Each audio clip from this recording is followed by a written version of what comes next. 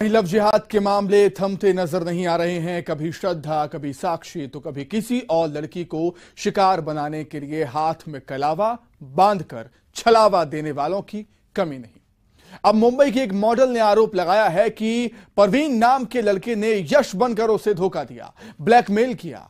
वहीं रायगढ़ में तो इससे भी सनसनीखेज मामला सामने आया। यहाँ दानिश खान नाम के युवक ने खुद को कुवारा बताकर एक लड़की को फंसाया और लिविन में रहने लगा। आखिर उस लड़की का मुकाम बनी मौत। आप भी देखिए। मुंबई टू रायगढ़, लव जिहाद का खेल। बेटियों की हिफाजत का सवाल। फैल रहा साजिश का जाल। कहीं साहिल हाथ में कलावा, लव जिहाद का छलावा। कहीं परवीन का यश अवतार। मॉडल पर लव जिहाद का वार। लव जिहाद का नेट।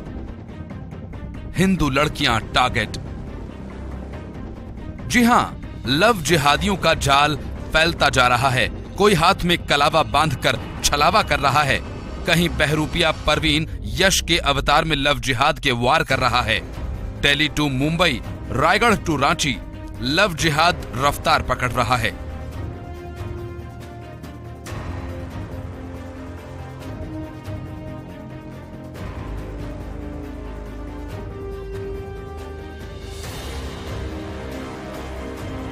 साक्षी और श्रद्धा जैसी आम लड़कियाँ हों या फिर मुंबई में कोई मॉडल, लव जिहाद के जाल में कब, कौन, कहाँ फंस जाए, ये कहना मुश्किल है। अब मुंबई की एक मॉडल का आरोप है कि रांची के तनवीर अख्तर नाम के एक शख्स ने उसे ब्लैकमेल कर धर्म परिवर्तन का दबाव बनाया। मॉडल का यह भी आरोप है कि तनवीर ने यश बनकर उसे फंसाया और उसे लव जिहाद का शिकार बनाया। मॉडल के मुताबिक तनवीर ने कोल्ड ड्रिंक में कुछ मिला दिया और उसकी कई अश्लील तस्वीरें निकाली, जिसके बाद से वो उसके साथ ब्लैकमेलिंग का खेल खेलने लगा। हालाँकि तनवीर ने मॉडल के आरोपों को खारिज किया।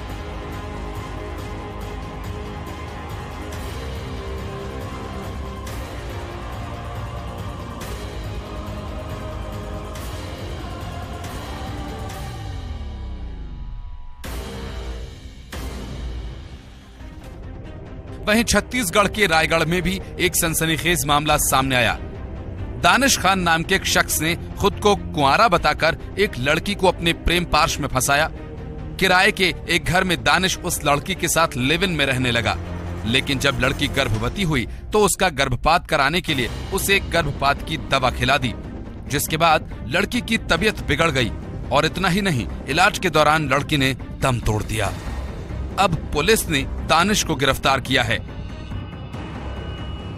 हाँ एक महिला थी और जिनके साथ वो रहती थी करीब दो साल तक रहे साथ में पति पति के रूप में, फिर वो महिला गर्भवती हो गई थी तो उसके पति पति द्वारा ही उसको गर्भपात करने की दवाई दिया गया था और उसमें ही उसकी मृत्यु हो गई थी। लड़की का जो बयान आया था, वीडियो के आधार पर उसमें अपराध पंजीकृत किया गया, धारा तीन सौ चार के तहत थाना चक्रधर नगर में, और आरोपी को भी अरेस्ट किया गया है और उनको जेल माननीय न्यायालय में पेश करेंगे अभी। अब बात सिर्फ़ लव जिहाद तक सीमित नहीं रही। हिंदू लड़कियों के खिलाफ साजिशों का दायरा बढ़ता ही जा रहा है। दमोह में गंगा जमुना स्कूल का एक पोस्टर सोशल मीडिया पर वायरल हो रहा है। इस पोस्टर में हिंदू लड़कियों को हिजाब पहने दिखाया गया है। हिंदू लड़कियों के हिजाब में फ़ोटो वायरल होने के बाद हिंदू संगठनों में भारी गुस्सा है। जबकि पुलिस प्रशासन का ये दावा है कि जाँच रिपोर्ट में आरोप साबित नहीं होता। हालाँकि गृह मंत्री नरोत्तम मिश्रा ने कहा है कि मामले की जाँच जिला शिक्षा अधिकारी से करवाई जा रही है।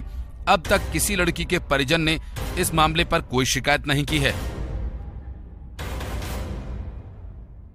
उसकी जाँच कराई है प्रथम दृष्टया। जिला शिक्षा अधिकारी को जाँच के लिए भेजा था। जाँच में उनके परिवार वालों ने कोई इस तरह की शिकायत नहीं की है। जिला शिक्षा अधिकारी स्वयं गए थे।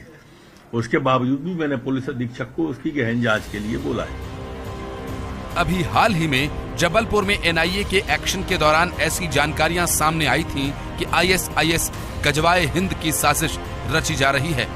इतना ही नहीं, सूत्रों से ये भी खुलासा हुआ था कि इस साजिश का पहला स्टेज हिंदू लड़कियों को लव जिहाद के जाल में फंसाना था। पकड़े गए आरोपियों के मोबाइल से हिंदू लड़कियों की तस्वीरें भी मिली थी। ज़ाहिर है, लव जिहाद की फैक्ट्री खुलती ही जा रही है और गली गली लव जिहाद की साजिश रची जा रही है। European Report, News 18.